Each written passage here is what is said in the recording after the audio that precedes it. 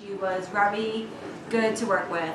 She was always there for us, night, day, midnight, all hours of the time. Even when we were exhausted from work, we were always she was always there, and she was the best. Informative with the process and everything. In the beginning, it Definitely was blindly. blindly, First house. but then after the process continued, it worked out smoothly, comfortably.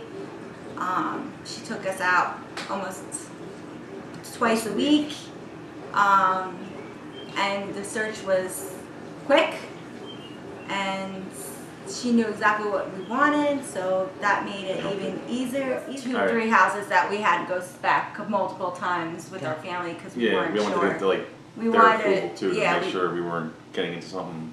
and take their advice and opinion on things and what they, you know. The first time we came here, we came with our family.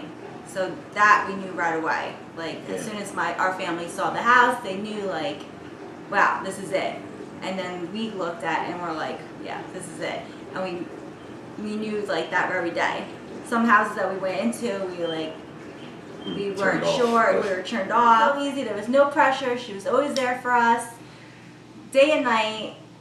I would recommend her to anybody. I actually recommended like her to Talking our to her like yeah. that you knew her for years. Yeah. It wasn't just like somebody you just met.